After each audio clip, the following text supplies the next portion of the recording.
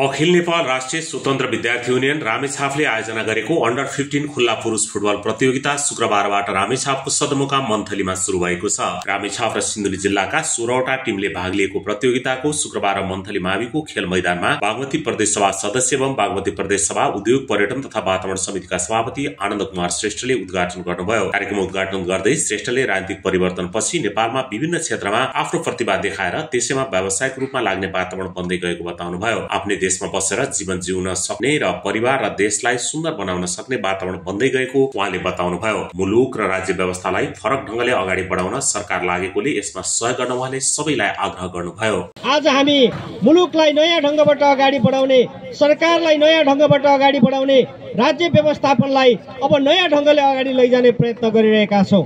हामीले देखिरहेका छौँ हिजोको दिनमा खेलाडी बनेर जिउनको निम्ति कलाकार भएर जिउनको निम्ति लेखक भएर जिउनको निम्ति त्यसै गरी पत्रकार भएर जिउनको निम्ति हरेक हिसाबले अन्य पेसा व्यवसाय अप्नाएर जिउनको निम्ति विविध खालका समस्याहरू थिए।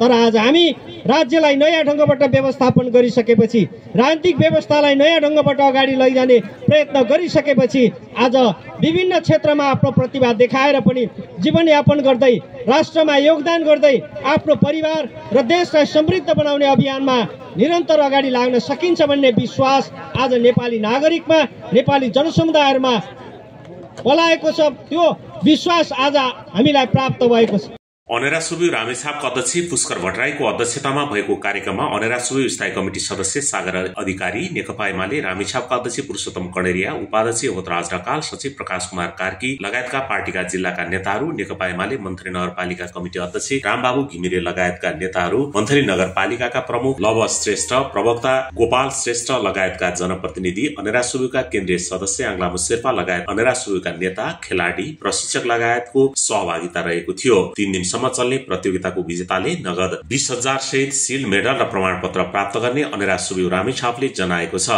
खेलका उपविजेताले नगद दस हजार सहित सिल मेडल र प्रमाणपत्र प्राप्त गर्नेछन्। सेमी फाइनल प्रवेश गर्ने तर फाइनलमा प्रवेश गर्न नसक्ने दुई टिमले नगद पाँच पाँच हजार सहित प्रमाणपत्र प्राप्त गर्नेछन्। खेल अवधिभर उत्कृष्ट चार विधा उत्कृष्ट खेलाडी उत्कृष्ट गोलरक्षक उत्कृष्ट डिफेन्डर र सर्वाधिक गोलकर्तालाई नगद एक हजार सहित ट्रफी प्रदान गरिने कार्यक्रम रहेको छ। खेलका सबै सहभागी खेलाडीहरूलाई प्रमाणपत्र प्रदान गरिने अनेरा सुबिउ रामेछापका अध्यक्ष पुष्कर भट्टराईले बताउनुभयो खेल अवधिभर प्रत्येक गोलकर्तालाई प्रोत्साहन स्वरूप प्रत्येक गोलको एक सय रुपियाँ प्रदान गरिने उहाँले जानकारी दिनुभयो। प्रतियोगिता नेपाल फुटबल संघ एन्फाको नियमानुसार खेलाइनेछ।